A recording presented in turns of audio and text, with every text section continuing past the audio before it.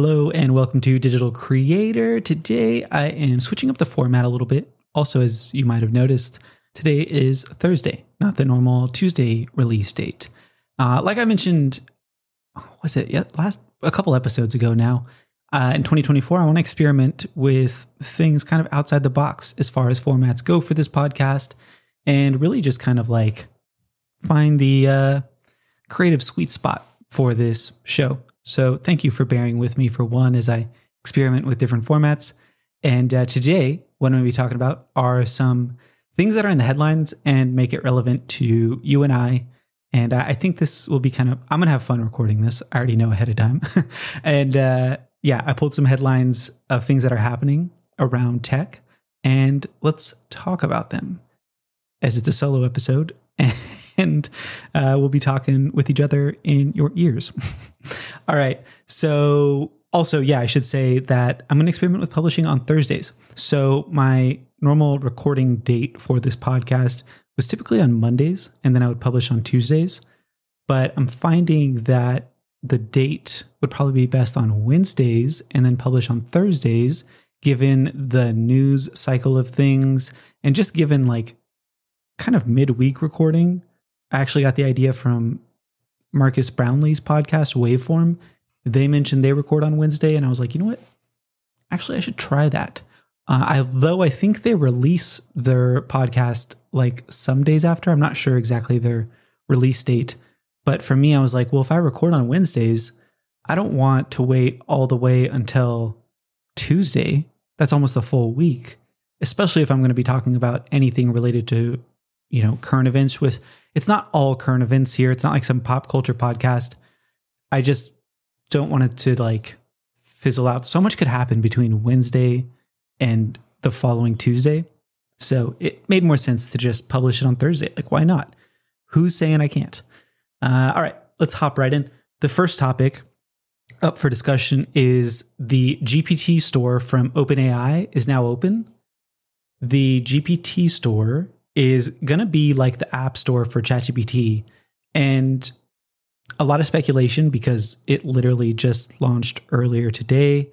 It's still being rolled out. You might not be able to see it. I'm able to look at some of the things that are available on my phone, but then when I open it up on my computer, I'm like not able to see everything, which is kind of interesting. It just takes me to what the old screen was. Uh, but this is what OpenAI describes GPTs as. Says discover and create custom versions of ChatGPT that combine instructions, extra knowledge, and any combination of skills. And there's these categories up top that you can choose, and then it will give you more on. So has like topic or top picks, sounds like topics, top picks, DALL-E, writing, productivity, research and analysis, programming, education, and lifestyle. So that's the categories. And some of these are from OpenAI, and some of these are made by just you and I, people. And if you haven't messed around with GPTs yet, it's basically like creating your own mini ChatGPT. You can customize it around like one main idea here. So I'll go down some of the um, featured ones here and kind of read about these, and it'll kind of make more sense. So the, in the featured area, which is says curated top picks from this week, is the top one is AllTrails. And with that custom GPT, you can find trails that fit your nature for your next hike, ride, or run.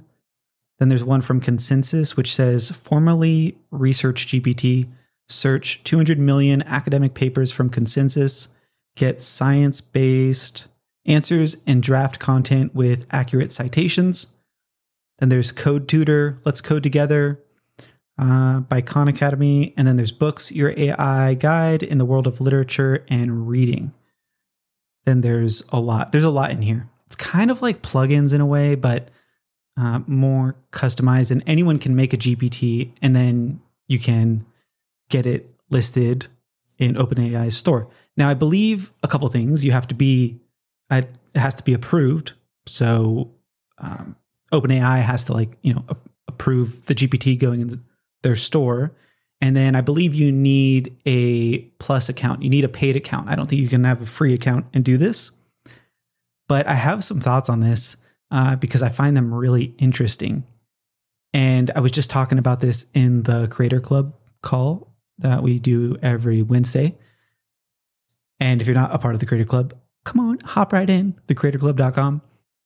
So I was just sharing about how I was reading last night about how Poe, uh, a big AI software app, saying, and they were just doing a round of fundraising.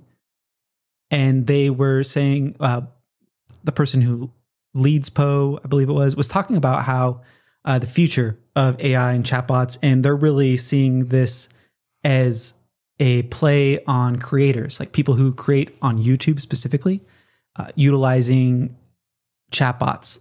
Basically, like think about you know you go to want to ask a creator a question. What if you went to their chatbot?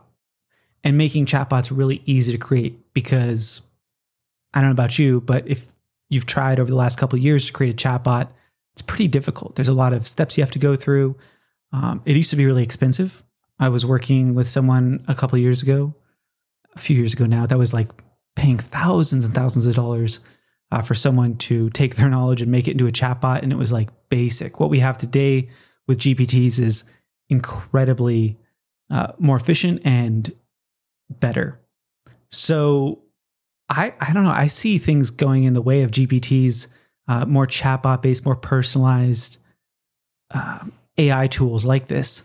Uh, and I look at this like a toolbox, right? You have ChatGPT, which is like uh, different tools, but if you you got to know how to prompt to get what you want out of it, and you know there's good prompts and that's going to give you great results, and there's prompts that are going to give you lackluster responses, and with GPTs, it's more personalized and specialized, just like tools, right? Now, I don't see any prices on these GPTs as I'm like going through them.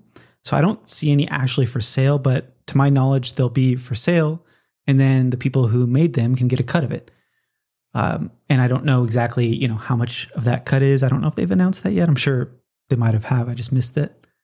But imagine creating your own GPT, putting it up, it's like a knowledge base of things that you've spoke about on your podcast or in your content. People chat with it, they use it. When they use it, you get paid. You know, they pay to access it. Almost like a website. Remember, like you'd go to a website, you'd look through the blogs. GPTs have a lot of potential to be that type of knowledge resource uh, for someone, especially if you're going like just throwing it out there like a Tony Robbins GPT. Now, he's like an info based person, right? He's done so many seminars, he's had so many conversations with people. It's so hard to extract the knowledge from someone like him uh, just through like a blog post. It's almost impossible. But if you use the GPT, you could make things that are specific to you in your life. Imagine being able to go, Tony, I have so much trouble. And say you were like really respected Tony and what he had to say. Tony, I have so much trouble getting up at 6 a.m. every day. What would you suggest I do? You know, and then there's this detailed response that's almost like Tony giving it to you, but it's personal to the more information you give it. Now, you could try that in ChatGPT right now. But what makes it unique is if Tony has spoken specifically about that topic and it's all trained around, you know, say goals. Let's just use a better example, goals. For Tony Robbins talking about goals, you have a conversation with it around setting goals. It's going to be way better than trying to get ChatGPT to give you, you know, the output that you're desiring. And so when I look at like the featured ones, especially around uh, the consensus, CodeTutor, things like that, uh, it's pretty interesting to see how specialized it is. And again, it's just these tools. So I would recommend playing around with it if you haven't already. I think the paid subscription for ChatGPT and these tools is worth it. At least trying it, you know, for a month just to like wrap your brain around like how these things work, what's going on. Uh, because at the very least, you're investing in like your future knowledge of how these these things aren't going to go away. Uh, they're only going to progress. I know, you know, I'm at that age where computers were wildly expensive. People were slow to adopt them. Some people were. My grandma never adopted them, you know, and she lived uh, till last year and she just didn't even adopt to cell phones. Uh, but I think this is one of those things. If you're going to be around, if you plan on being around, it's worth investing some of your time and a little bit of resources in just playing around with it, getting a feel for it. Because if the tool's available for you and you're not even sure if it could save you time, what if it did? And what if it saved you hours? One of the things I do with content clips uh, is just kind of look at how I'm doing things, why I'm doing things, because there's a lot of inefficiencies in what I do. You know, same with this podcast. Like I always release on Tuesday, but what if it was better for me to release it on Thursday and record on Wednesday? That might actually be way better. So, you know, look at those processes, reanalyze what I'm doing. Hmm, where can I be more efficient with my time? Wednesdays are much better days for me to record than Mondays, but I've been doing Mondays for a long time. so, why not move that around? With GPTs, what if there was, you know, there is a GPT actually I've been using that I made that I use in my newsletter. If you read my newsletter, you see that I have uh, an image above like the Dylan's download section. And I use uh, those are like AI images that I've made, and I've fine tuned them with my own GPT on images that I have liked. So what I did was I basically was like, I want to create a illustrator for my newsletter. This is when I was making the GPT. Then I was like, you know, I want it to look like something kind of like out of the New York Times, which is ironic because they're going through that lawsuit with OpenAI right now. Uh, uh, I want it to look like something that might be illustrated in the New York Times. I should be very minimal, not super colorful, just two colors, black and white usually, and no text, just one person, and the dimensions like 9, 1920 by 1080 and it started giving me like because I had used that prompt before with using DALL-E inside ChatGPT. I would get images, you know, 90% of the images or more I'm not really happy with. I'm very picky when it comes to the images, but I have like 10, 15 images at this point that I really like that it's given me. So I have those saved on my computer. So when I was making the GPT for this image illustrator, and I was saying a similar prompt, like I want it to be an illustrator for my newsletter in the style of New York Times. These are the dimensions. There was also the ability to upload the files, and these are 15 images that I really like. So make them in this style. Now, when I make, now when I use the GPT to create images, whereas before, you know, 90% plus of the images I was not happy with, now I would say only about 25% of the images I'm not happy with. That means it's got like a went from like a 5 to 10% success rate to a 75% plus success rate.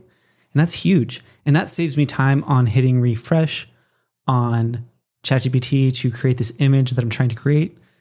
And so that's just one of the ways that could be more efficient. And that carves out 25, 30 plus minutes, um, give or take, around just the image part because I put a lot of thought and care into my newsletter and the image is really important to me and I don't put out just anything. So I want it to be related and I want it to look right. Now I'm not obviously making the exact image, not trying it by hand. You don't want me to because it would not be good. But still, I'm trying to get it to look a certain way. I'm like the creative director, the creative prompter, I guess you could say. And uh, thanks to GPTs, I can do that faster. So I look at these tools as just like, yeah, I might not use all of them. I'm not, you know, I might play around with them, like the consensus one, which you can search 200 million academic papers on from consensus. I've used that before. I could see using that in certain pieces of content that I want to back up with uh, science based data, you know, look up academic papers and then um, use that. So I could see playing around with these none of them, you know, right away I'm like, oh, I have a need for, but I know they're there and I am comfortable with using them now. So I think like in the future, hmm, if I come across an idea or something I'm working on, like let me go hop into GPT, GPTs and see if there's something there. Now I know also what I'll be doing is being on the lookout from my favorite creators and seeing if they launch any. I don't know off the top of my head who that would be, but like let's just say Casey Neistat, YouTuber I like. I don't suspect he'd be one to do like GPTs, but what if he did? You know, he's a creative guy. And if he did one and it was interesting, I might like, oh, I'll check it out. If it's paid and it's helpful and it saves me time, like, okay. Uh, as far as the cost goes, I don't know if it's a one time cost, recurring cost, but it will be interesting to see how it rolls out. And uh, yeah, that's what I'll be on the lookout for GPTs. Topic two, I want to talk about continuing on the theme of AI, and it's not all AI today because I talked about AI last, well, this week, almost said last week, uh, just a couple days ago, I was published an episode about AI and using a voice tool. Jeffrey Katzenberg, who is the co-founder of DreamWorks and DreamWorks Animation, which is like one of the biggest movie productions. He's a movie producer. He said AI will take 90% of artists' jobs on animated films in just three years. Reading that out loud like gives me goosebumps. He says, I don't know of an industry that will be more impacted than any aspect of media, entertainment, and creation. Now, why is this headline interesting coming from Jeffrey Katzenberg, the co founder of DreamWorks and DreamWorks Animation, who these things are wildly inaccurate. But when I Google, or one of the Google things other like searched was like Jeffrey Katzenberg net worth. Google says 900 million, whatever, hundreds of millions of dollars, most likely. I mean, guy's extremely wealthy. Three years. That's a that's a bold statement, and a lot of lives are obviously already impacted by AI, but going to be continue to be impacted by AI. It's huge, and I think that even if we're not working on animated films and we're not, you know, artists in that way, I think there's this kind of fear that we all have of like, how are we going to integrate this and how will our lives continue to be impacted and what can we do to prepare ourselves? And if you've looked at the news headlines lately, the especially in like the tech space, and I never really paid super close attention to news headlines before I started incorporating um, relevant stuff in my uh, newsletter, like tech and creator related things. But I gotta like go through all these layoffs when they come up in the headlines, and so many people's jobs are being cut. So many things are happening. Things are just moving at an incredible pace, um, obviously and we're integrating this like new technology in our lives. Definitely crazy times. And when i see that headline it just made me pause uh, for someone thinking like just thinking empathetically of like all the people that are going to be affected. But and then i got to the bottom of the article and they buried this kind of like i'm doing as i say here. Uh, he said jeffrey also said individual creativity will still be necessary to prompt the ai prompting is actually going to become a creative commodity. So, on one hand, it's like, I read this as, wow, that's incredibly scary. And where will those people go? And how will this work? It looks like, you know, things are going to be shifting at a quick pace. And he kind of talks about this because he was speaking at an event in Singapore. And, you know, not to just read the whole article, but it's from IndieWire. And I'll link to this in the episode description here. But part of the thing he was talking about is like you look at the last 10 years of tech and then you look at how fast it's moving now, like it's just going to move faster and faster. And we don't have to stay completely up to date with everything to be in the know, right? Like you don't need to know the top of everything now. Before it was like, oh, you had to know every musical artist. It's impossible. If you've tried to look at the top 50 artists that are popular right now, everything is so much more personalized than it's ever been before, which is good. And if you're like me, who at one point would buy compilation, now that's what I call music CDs, or you know, you felt like everyone was reading and watching and consuming the same things. It's a weird shift to go to this personalized media uh, consumption for creators, it's something because we, you know, want to create something for someone and we're like, oh, I can go really specific these days. And you can be really successful and not have some huge audience. You know, we see people that we've never heard of have millions and millions of subscribers on YouTube. But what we don't see is that there are people doing a lot of money with very, very small followings on social media. Um, and the numbers don't always tell like what's going on. So I say that just because individualism and personalization towards like individuals is going to be just it's just increasing and increasing. And the skills that we like prepare ourselves with are going to be really important. And i think we used to have to be a little bit more generalist when we would approach things especially if we wanted to like do things on a bigger scale but ai is giving us tools that like education wise we couldn't have got just a couple years ago just a year and a half ago. Whereas now you can get answers quicker um, but the exact roadmap and personalization is also more difficult. Uh, speaking for creators for example like knowing what to fix can be sometimes confusing if you have the manual to everything. You know what i mean? Um, so it's kind of like i guess as i'm like thinking about this and i'm reading this headline I'm just thinking it feels like the best way we can equip ourselves is through knowledge, but not being a generalist at everything. It's like knowing how to diagnose the thing that, knowing what needs to be improved, and then fixing it, and then doing something about it.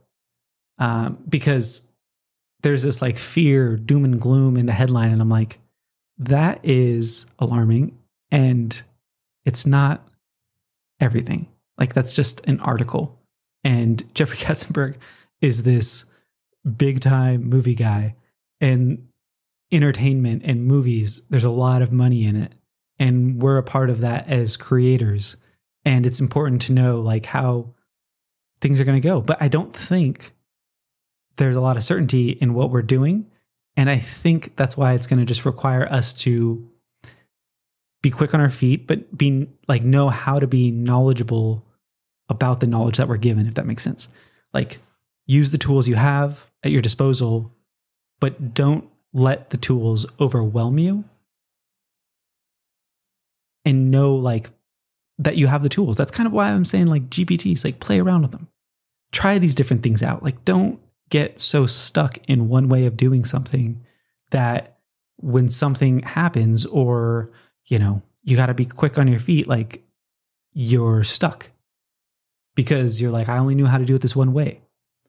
The output I'm able to do with content clips, this podcast, the content that I'm doing, I do a lot, but like I'm not doing so much that I can't function, right? Like it's not like I'm so busy that I, have been watching Godzilla movies. Like I, I have never been a fan of Godzilla and I'm just in a Godzilla rabbit hole. And there's so many Godzilla movies. There's like 30 plus, I think. And I started at the beginning. It's a fascinating series. But like I'm not so busy that I can't, you know, still consume, play a Nintendo here every now and then, be with my daughter, you know, be with my wife, learn about these AI things. It's like because I'm using certain things to my uh, best of my ability and getting help where I can, uh, but not overwhelming myself in the process. So I guess when I think about like what can we do to prepare ourselves best for this AI future is like we can take really good care of ourselves so that we're not bogged down by this pace of technology that we've never experienced before. And if you're in the creator club, uh, I'm sure like you're the you're a different you're going at a different pace than most people are because uh, you're paying attention to things that most people don't pay attention to. Same with if you're not in the creator club, you're just listening to this podcast, and if you listen this far, you're moving at a pace that most people aren't moving at. I can say that because I speak with so many people, and even if it feels like oh, other people are doing this, there's a comparison of like we we were hard on ourselves sometimes. And I think one of the ways we can prepare ourselves for the future is to be more kind on ourselves, more compassion towards what we're doing, be easier on ourselves, not feel like we have to do it all, not burn out before we even get to 2025, because it's only a couple weeks into 2024. So, taking care of yourself is going to be one of the best ways you can prepare yourselves, which has nothing to do with, you know, using every tool at your disposal. If you're not taking care of yourself, you're not even, it's not even to matter what tool is available. Next topic I wanted to chat about with you today is the wonderful world of sludge content. uh, I didn't know this name before this article, but this is fascinating. Scientific American reported on sludge content. And the article is titled Sludge Videos Are Taking Over TikTok and People's Mind. So, what is sludge content? I'm going to bring up my window here because it is something that you've all seen. These two sentences, or this one sentence explains it best. Sludge content is a type of viral video that features multiple clips playing simultaneously on a screen. These are really popular on TikTok. They have been for a little while. My dad, who consumes a lot of TikTok and a lot of memes, shares these types of videos with me, and sometimes I have a hard time watching them. It feels unhealthy to watch sometimes, but they'll do it a lot on like podcast clips, I've noticed. So it'll be a person talking, and then you'll see like someone just doing something like could be anything, cooking while someone's talking about Elon Musk or someone playing with slime or someone, you know, doing some video game. So there's like two things happening at once. This article is interesting. I recommend checking it out just to familiarize yourself with it. But one thing it highlights that I think is interesting is the myth of multitasking and how we feel like we're doing multiple things at once, but we're really not good at it. Um, and when we go on social media, this is not a not a professional psychologist, but as someone who has worked with really successful psychologists. Uh, just my two cents on on the idea here is uh, when we go on social media, it is, and you've probably heard me talk about this before. It's interruption based marketing or content, right? Rarely do you go on TikTok to go for something specific. And even if you do, as soon as you open the app, it's trying to get you to just stay on the app by showing you new and new and new and new things so when like these sludge videos, which is that type of content, which I know most of my audience does not uh, give into the sludge content. I've messed with a couple of them on my Facebook reels. I haven't published those on Instagram or uh, TikTok, but they did pretty well on Facebook, surprisingly. Um, and I was like, it just didn't feel authentic. I just wanted to test it out.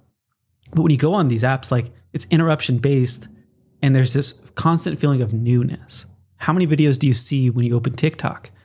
Probably a lot. I've tried to look up exactly how many the average person sees in a session. I haven't found any solid numbers on this, but like, let's just say the number was 60 videos in a TikTok session. It's just like new, new, new. The brain wants new. So when you're getting a podcast clip that is interesting, even if the content is interesting, people will still want to scroll because they're seeking new. They're not necessarily seeking the information that's in the clip.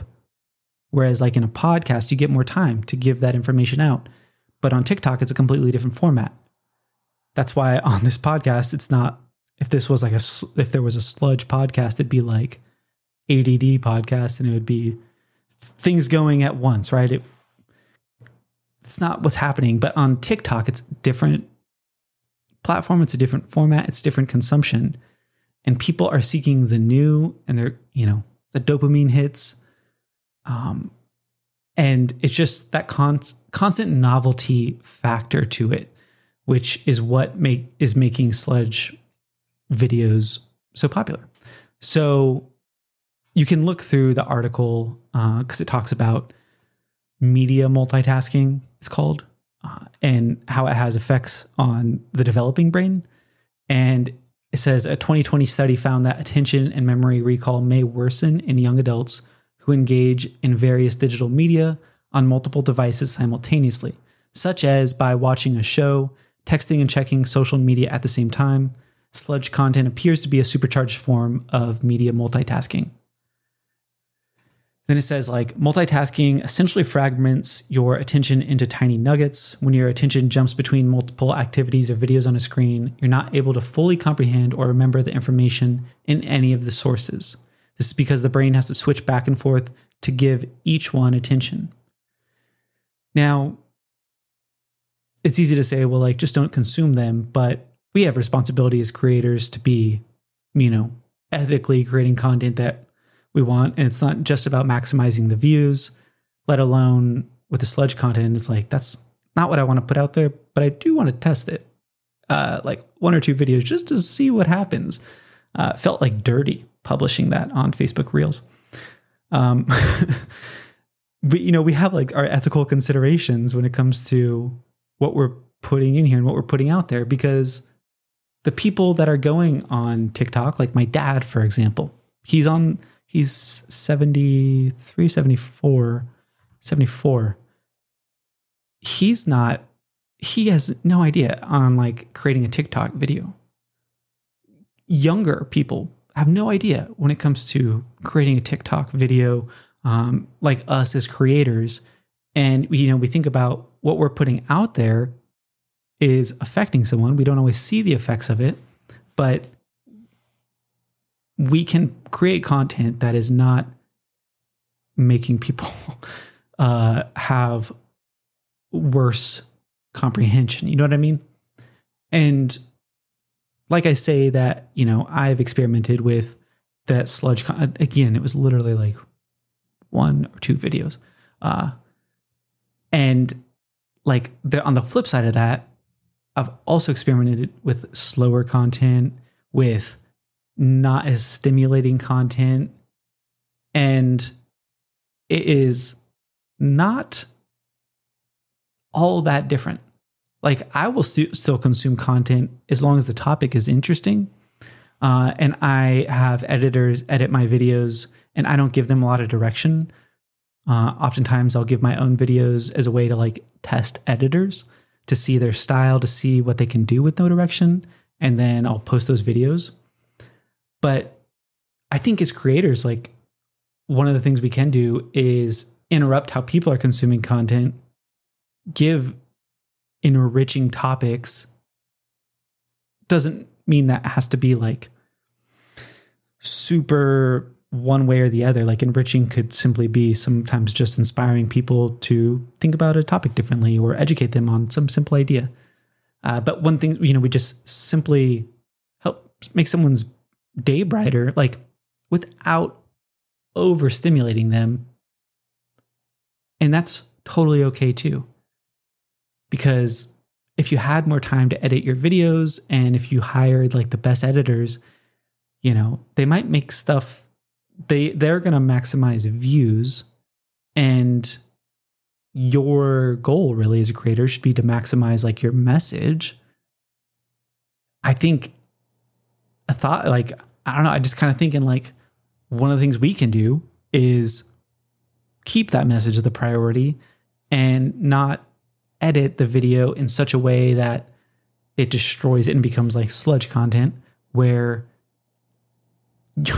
you're hooking people for the wrong reasons like an unethical hook to me sludge content is like it's put it in like someone around more my age, which I'm 34, turning 35 this year.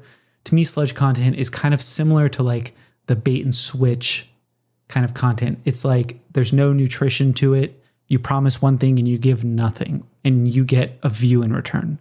Like that's how I see the sludge content. People are maybe watching it for the thing that's in there that's not about the video. And also that makes the testing part hard. Like if a client came to content clips and they were like, this is our style of what we do, I would be like, this is not the style we do. I've never worked with a client that has done that style of content. I wouldn't, we wouldn't be able to work with them in that capacity. But you don't know which part they're watching. And I would not suspect that those people would convert better. And for the people that are just like maximizing views, that's why I don't think it's the best thing for creators is just more views.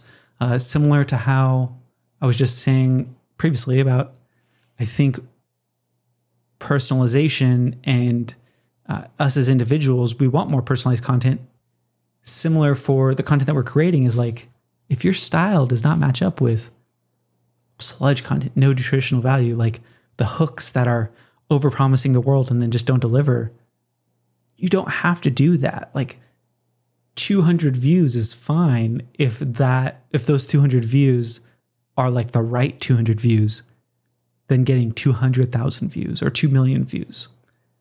So, all that to say, I think it's pretty clear that I'm not one of those uh, creators who just all I care about is views. Absolutely not. I would rather have two views at the end of the day if it meant uh, I really believed in what I was saying versus uh, just trying to maximize everyone's attention because you can get attention. What do you do with the attention? You know, I'm not Mr. Beast. I have no desire to be Mr. Beast. Um, and so I think it's just the ethical considerations we have as creators. Something to think about. Worth checking out that article.